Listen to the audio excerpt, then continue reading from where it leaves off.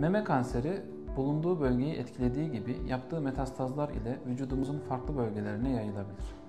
Meme kanserinin en sık metastaz yaptığı bölge iskelet sistemidir.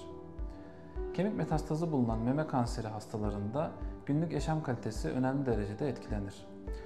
Yaygın kemik ağrısı, kemik çevrelerinde şişlikler ve kırıklar bu metastazların en önemli belirtileridir. Ortopedik açıdan kemik metastazı bulunan meme kanseri hastalarında oluşan bu ağrıyı ve fonksiyon kayıplarını gidermek tedavide en önemli amacımızdır.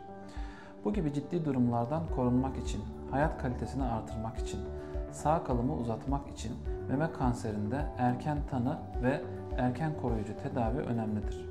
Doruk Hastanesi olarak meme kanserinin tanı ve tedavisinde multidisipliner yaklaşıma önem veriyoruz.